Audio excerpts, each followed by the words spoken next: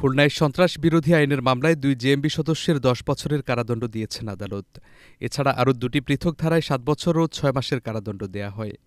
তবে তাদের পড়াশোনা ও বয়স বিবেচনায় তিনটি মামলায় সাজা একসঙ্গে কার্যকর হবে বলে জানিয়েছে আদালত। মঙ্গলবার দুপুরে সন্ত্রাসবিরোধী বিশেষ ট্রাইব্যুনালের বিচারক রোজিনা আক্তার রায় ঘোষণা করেন। সাজাপ্রাপ্ত আসামিরা হলেন নূর মোহাম্মদ অনিক ও মোহাম্মদ মোজাহিদুল ইসলাম রাফি। তারা দুজনেই খুলনা বিশ্ববিদ্যালয়ের শিক্ষার্থী ছিলেন। রায় ঘোষণার পর দুই আসামিকে কড়া নিরাপত্তায় আদালত থেকে কারাগারে নিয়ে যাওয়া হয়। আইনজীবীরা জানান দু হাজার বিশ সালের পঁচিশ জানুয়ারি রাতে বোমা তৈরির সরঞ্জামসহ খুলনা মহানগরীর গল্লামারি এলাকা থেকে নূর মোহাম্মদ অনিক ও মোহাম্মদ মোজাহিদুল ইসলাম রাফিকে আটক করে পুলিশ।